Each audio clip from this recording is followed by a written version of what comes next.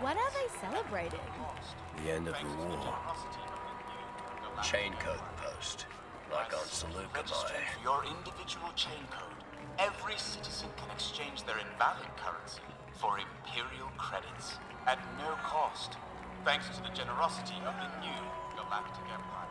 Things are changing quicker than I thought.